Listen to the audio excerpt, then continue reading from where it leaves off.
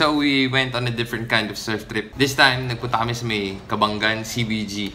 Finisit namin yung friend ko, si Gabi and si Don. In-expect ko magsasurf lang kami doon, pero apparently, ano pala siya, immersion. So may parating kasi na swell na papunta sa Sambales. And doon naganap kami ng spot na medyo hindi crowded. Minessage ko yung friend ko si Gabi. Meron ba tayong spot dyan na mapagsasurfan? Pagkadating namin doon, chinek out kagad namin yung sunrise na meron sila. Also, makikita mo rin yung spot na pinagsasurfan nila doon. So pagkababa namin, nakita namin si Boss Saldo. Alam mo na na nasa mga buti kang kalagayan kasi meron kang local na tropa. Halos kilala naman na na lahat yan. After na, nag-surf kami. And then, lunch. Ganda rin yung food. Masarap rin yung food. And then, doon na kami na, doon na nag-start yung immersion. Anong hapon na yun, tinur kami ni Don about Alon and Arrow Club. Basically, meron silang four pillars which is sports, education, environment, personal development.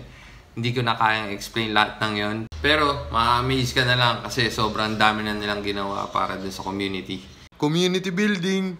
To help, number one, the kids. Number two, the environment. And then, number three, pati yung mga families na kasama ng mga, mga parents ng mga bata. Natulungan din nila.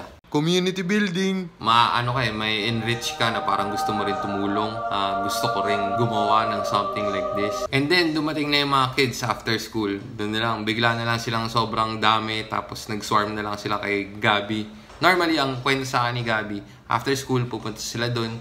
Tapos, maglilinis dun sa may recycling facility nila. And then, after that, kanya-kanya silang sako. Magpupulot sila ng mga basura dun sa beach. And then dun na magsa-start yung playtime nila. If maganda-ganda yung swell magsa-surf yung mga bata.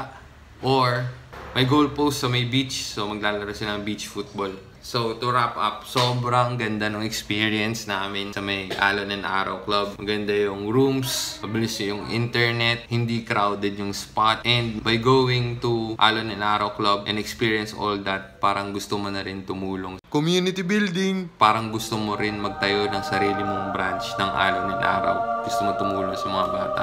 Community building. Uh, props to Gabi and Don. Sobrang solid nung ginagawa nyo. Patuloy nyo pa yan. Kung gusto nyo ma-experience ng ganong klaseng surf trip, uh, check out nyo na lang ang Alon and Arrow Club. Backburn and then talk to Don or Gabi na sobrang accommodating sa mga guests nila.